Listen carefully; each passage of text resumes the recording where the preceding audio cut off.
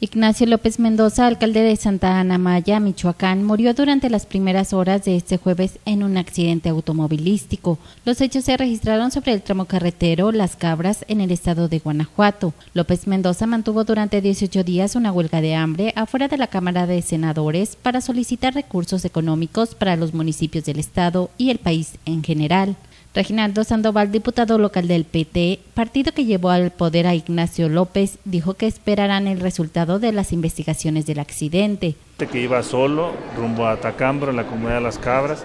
No nos saben decir a detalle todavía eh, por qué, qué causa provocó la salida del vehículo en el que él viajaba. Tras la muerte del edil de Santa Ana Maya, el síndico asumirá el despacho de la alcaldía de manera provisional. Lo que procede legalmente es que asume el síndico la responsabilidad de la presidencia, en tanto se reúne el cabildo y el cabildo resuelve quién lo sustituye mientras se toma la definición de presidente sustituto. Apenas este jueves el Congreso de Michoacán leyó la comunicación para notificar que a partir del 25 de octubre Ignacio López se reincorporaba a su cargo como edil tras solicitar licencia indefinida, tiempo en el que llevó a cabo una huelga de hambre en la capital del país. Con información de Sandra Sáenz, informa Cuasar TV.